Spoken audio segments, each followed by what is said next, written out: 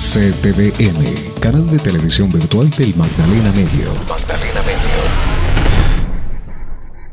Lamentablemente el día de hoy, sobre las 5 y cuarto de la mañana, un hecho que enluta eh, a toda la institución policial y puntualmente al Departamento de Policía eh, de Barranca Bermeja, donde un auxiliar de policía, quien prestaba servicio militar en la institución y hace parte del Cuerpo de Seguridad de Instalaciones, eh, al parecer eh, toma la decisión de quitarse la vida con el arma de dotación oficial eh, mientras estaba prestando su servicio, lo que en el momento es materia de investigación por parte del CTI de la Fiscalía General de la Nación y de la Oficina de Asuntos Disciplinarios de la Policía Nacional.